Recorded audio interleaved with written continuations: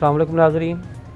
امام حسین علیہ السلام کا چیلم بیس سفر کو دنیا بھر میں ملایا جاتا ہے۔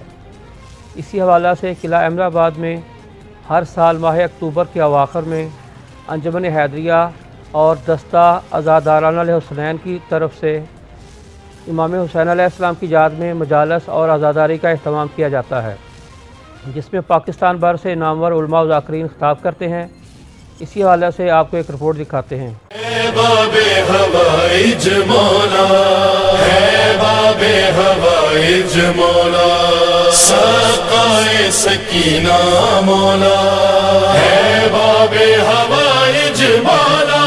کیونکہ جب بھی رسول پاک کو کوئی چیز پیش کیا جاتا تو آپ اس کے اس کے بارے میں استفسار فرماتے تھے۔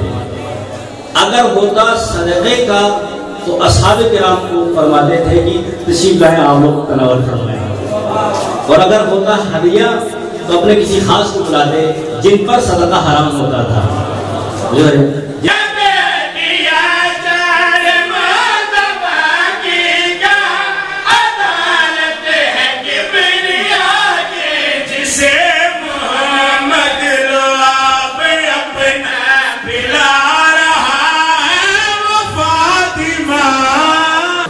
حضرت ام المومنین حضرت عائشہ صدیقہ رضی اللہ تعالی عنہ، وہ فرماتی ہیں کہ جب نبی رات کو بستر رسالت پہ چادر اوڑ کے سوتے تھے تو اتنا نور نکلتا تھا چہرے سے کہ میری گننے والی سوئی بھی مجھے اس نور کی روشنی میں مل جاتی تھی۔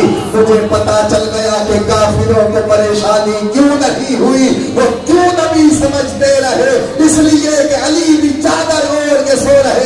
اور وہی نور نکل رہا تھا، جس کے بارے میں نبی نے کہا انا والی جب میں نور واہ واسطہ دے کے کیسے ہو کہ عباس؟ اور عطا نہ کرے۔ عالم پہ جاؤ تو بچوں کو ساتھ لے جاؤ۔ وہاں سکینہ کا پرسا دو پھر دعا مانگو۔ تمہارے حق میں سکینہ جو خود دعا کر دے۔ یہ کیسے ہو کہ عباس اور عطا نہ کرے؟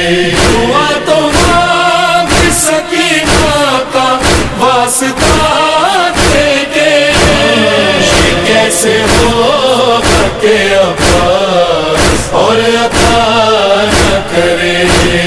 ردائے زینب مزتر کا واسطہ دینا۔ غریب زہرا کا شربت پہ فاتحہ دینا۔ جیسا کہ ناظرین آپ نے چیلم امام حسین علیہ السلام کے حوالہ سے رپورٹ دیکھی۔ امید ہے کہ آپ کو یہ ویڈیو پسند آئی ہوگی۔